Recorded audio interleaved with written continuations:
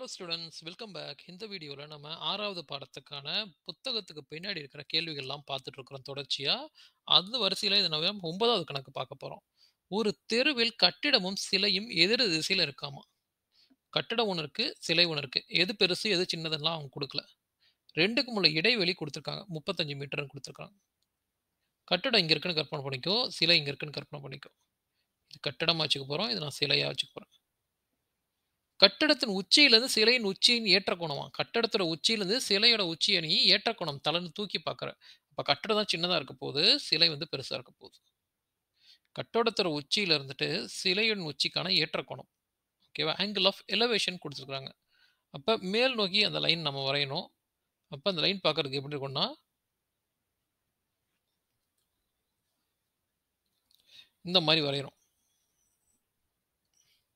ஏற்ற கோணம் கொடுத்துருக்காங்க. அப்போ நேராக பார்த்துருந்தா எப்படி பார்த்துருப்பேன். ஏற்ற கோணம் எவ்வளோ கொடுத்துருக்காங்கன்னா உங்களுக்கு இருபத்தி நாலு டிகிரி கொடுத்துருக்குறாங்க. மற்றும் சிலையின் இறக்க கோணம் கொடுத்துருக்குறாங்க. அப்போ நேராக பார்த்துருந்தா இந்த நேர்கோட்டில் பார்த்துருப்பேன். இறக்க கோணம்ன்றப்ப இந்த மதிப்பு கொடுத்துருக்காங்க இது எவ்வளோ கொடுத்துருக்காங்கன்னா இருபத்தி நா முப்பத்தி நாலு டிகிரி கொடுத்துருக்காங்க. அப்போ இது முப்பத்தி நாலுனா எதிரில் இருக்கிற இந்த கோணமும் முப்பத்தி நாலு டிகிரி தான். இப்போ என்ன கண்டுபிடிக்கிறாங்கன்னா சிலையின் உயரம் எவ்வளோன்னு கேட்க சொல்கிறாங்க இந்த மொத்த சிலையோட உயரம் எவ்வளோன்னு கேட்குறாங்க. இதை நம்ம அழகாக ஒரு படத்தை வரைஞ்சிடலாம் இந்த ரஃப் படம் எதுக்குன்னா நம்ம கேள்வியை புரிஞ்சுக்கிறோமா அப்படின்றதுக்காக தான் அந்த படம் வந்துட்டு. ஸோ முதல்ல நம்ம தரைப்பகுதி வரைஞ்சிக்கிறோம். சிலையோடைய வடிவத்தை வரைஞ்சிக்கலாம். இங்கே வந்து உங்களுக்கு பில்டிங் இருக்குது பில்டிங்லேருந்து நான் உச்சியை நோக்கி பார்க்குறேன். பில்டிங்லேருந்து நான் தரையை நோக்கியும் பார்க்குறேன். அட்லீஸ்ட் கீழே இருக்கிறது ஒரு முக்கோணமாக அழகாக இருக்குது. இது முக்கோணமாக இல்லை. செவ்வக முக்கோணமாக இல்லை. ரைட் ஆங்கிள் ட்ரையாங்கிளாக இல்லை. ஓகேவா? ஸோ இப்போ நம்ம கரெக்டாக இருக்கும். இப்போ நமக்கு என்னென்ன மதிப்பு கொடுத்துருக்கோ எல்லாத்தையுமே உள்ளே எழுதுங்க. இப்போ என்ன கொடுத்துருக்காங்கன்னு பார்த்தீங்கன்னா முப்பத்தஞ்சு மீட்ரு அதாவது இந்த இடைவெளி இது கீழே இருக்கிறது முப்பத்தஞ்சாம் இந்த கோடு முப்பத்தஞ்சுனா இந்த கோடு முப்பத்தஞ்சு தான். ஏன்னா ரெண்டுமே ஒரே நீளத்தில் தான் இருக்குது பில்டிங்கோட உச்சியிலேருந்தும் அந்த கோபுரம் அதே தூரத்தில் தான் இருக்க போது அடியிலேருந்தும் அதே தூரத்தில் தான் இருக்க போது அதனால் ரெண்டுமே முப்பத்தஞ்சுனே போட்டோம். கட்டடத்தின் உச்சியிலிருந்து மேல் பார்க்கக்கூடிய ஏற்றக்கோணம் ஆங்கிள் ஆஃப் எலவேஷன் கொடுத்துருக்காங்க இருபத்தி நாலு டிகிரின்ட்டு சிலையின் அடியை பார்க்கக்கூடிய டிப் டிப்ரெஷன் ஆங்கிள் கொடுத்துருக்காங்க. அதுவும் முப்பத்தி நாலு டிகிரி கொடுத்துருக்காங்க. அது இது முப்பத்தி நாலுனா எதில் இருக்கிற இந்த கோணமும் முப்பத்தி நாலு டிகிரி தான் ஓகேவா இப்போ நம்மளுக்கு என்ன கண்டுபிடிக்க சொல்கிறாங்கன்னா இந்த சிலையுடைய உயரம் எவ்வளோ இருக்கும் கண்டுபிடிக்க சொல்கிறாங்க ஸோ சிலையுடைய உயரம் எனக்கு எந்த பகுதியுமே தெரியாது. ஸோ ரெண்டையுமே நம்ம கண்டுபிடிக்கணும். முதல்ல மேலே இருக்கிற முக்கோணத்தை வச்சு இந்த துண்டை கண்டுபிடிச்சிடலாம். அப்புறம் கீழே இருக்கிற முக்கோணத்தை வச்சு இந்த துண்டை கண்டுபிடிச்சிடலாம் ரெண்டையுமே கூட்டிக்கலாம். அப்போ என்னென்ன இருக்குது எனக்கு முக்கோணத்துடைய ஆங்கிளுக்கு கீழே இருக்கிற மதிப்பு அடுத்துள்ள பக்கம் இருக்குது எதிர் பக்கம் எனக்கு தெரியாது ஆப்போசிட் தெரியாது. அப்போ என்ன பயன்படுத்தலாம்? கேள்வியிலேயே ஷார்ட்கட்டில் டேன் கொடுத்துட்டாங்க. ஆராய்ச்சியே பண்ண வேணாம் டேன் டீட்டாவை எடுத்து பயன்படுத்து. அப்போ டேன் முதல்ல மேலே இருக்கிற இருபத்தி நாலு டிகிரி எடுத்துக்கும் டேனோட ஃபார்முலா எதிர்ப்பக்கம் போய் அடுத்துள்ள பக்கம். எதிர்பக்கத்தில் எனக்கு தெரியாத மதிப்பு. நான் எக்ஸ்னு வச்சுக்கலாம். அடுத்துள்ள பக்கத்தில் மதிப்பு முப்பத்தி அஞ்சு. இருபத்தி நாலு டிகிரியோட மதிப்பு எவ்வளோ கொடுத்துருக்காங்க பாரு இங்கே இருக்குது ஜீரோ புள்ளி நாலு நாலு அஞ்சு ரெண்டு ஈக்குவல் டு எக்ஸ் பை முப்பத்தி அஞ்சு. வகுத்தில் இருக்கிற நம்பர் இந்த பக்கம் போச்சுன்னா பெருக்கல் ஆகிடும் ஜீரோ புள்ளி நாலு நாலு அஞ்சு ரெண்டு பெருக்கல் முப்பத்தி அஞ்சு ஈக்குவல் டு எக்ஸ் ரெண்டையும் பெருக்கலாம். ஜீரோ புள்ளி நாலு நாலு அஞ்சு ரெண்டு பெருக்கல் முப்பத்தி அஞ்சு. அஞ்சு ரெண்டு பத்து அஞ்சு அஞ்சு இருபத்தஞ்சி ஒன்று இருபத்தி ஆறு அஞ்சு நாலு இருபது இருபத்தி ரெண்டு அஞ்சு நாலு இருபது இருபத்தி ரெண்டு. மூணு ரெண்டு ஆறு மூணு அஞ்சு பதினஞ்சு மூணு நாலு பன்னெண்டு ஒன்று பதிமூணு மூணு நாலு பன்னெண்டு ஒன்று பதிமூணு வரிசையாக ஒரு ஜீரோ வேறு இருக்கான். ஜீரோ ரெண்டு எட்டு அஞ்சு அஞ்சு ஒன்று ஜீரோ.